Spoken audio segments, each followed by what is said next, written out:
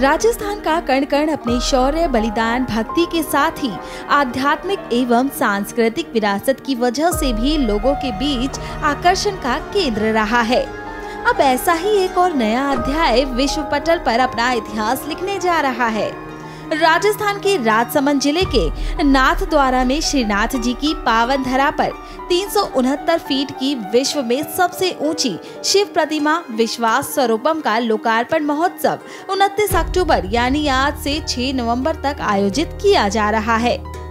महादेव के इस महा महोत्सव में नौ दिन तक धार्मिक, आध्यात्मिक, सांस्कृतिक आयोजनों की धूम रहेगी।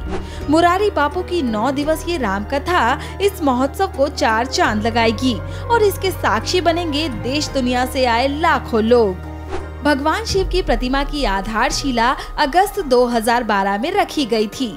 भगवान शिव की तीन सौ उनहत्तर फीट ऊँची प्रतिमा को बनाने में 10 साल का समय लगा था।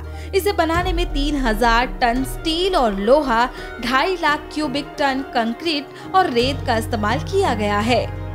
250 किलोमीटर की गति से बहने वाली हवा भी भगवान शिव की इस मूर्ति को नहीं हिला सकती।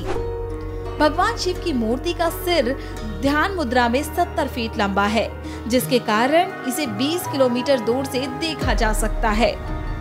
शिव प्रतिमा पर विशेष रूप से 3D लाइट एंड साउंड का प्रयोग किया गया है, जिसमें शिव स्तुति का प्रसारण किया जा रहा है। यह पर्यटकों के लिए बेहद खुशी का केंद्र बनेगा।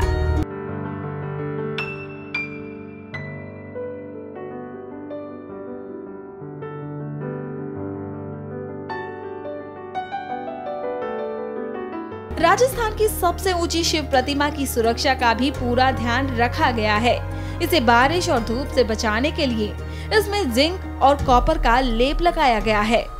नाथ द्वारा के गणेश टेकरी पर बनी ऊँची ये प्रतिमा ड्रीम प्रोजेक्ट का हिस्सा रही है। इक्यावन बीघा की पहाड़ी पर बनी इस प्रतिमा में भगवान शिव ध्यान मुद्रा में बैठे हैं। इस प्रतिमा का नज़ारा करीब 20 किलोमीटर दूर से ही नज़र आने लगेगा।